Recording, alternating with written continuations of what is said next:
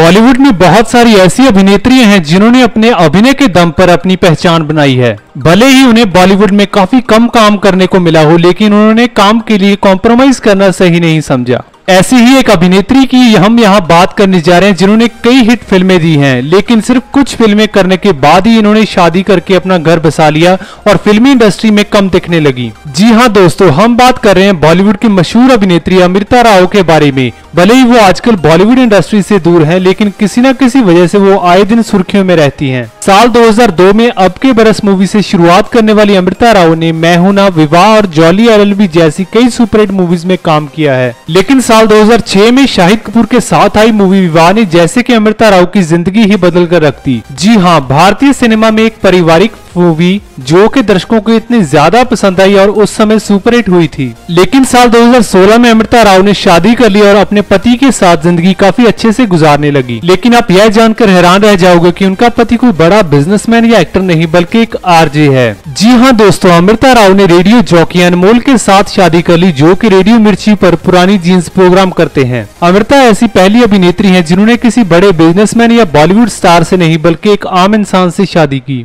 तो दोस्तों, अगर आपको भी अमृता राव बतौर अभिनेत्री और इंसान अच्छी लगी तो हमें लाइक और कमेंट करके ज़रूर बताइएगा। अगर आपको यह वीडियो अच्छी लगी तो प्लीज़ इसे लाइक करें और शेयर करें। दुनिया भर की वायरल बात जानने के लिए हमारे चैनल को सब्सक्राइब करें।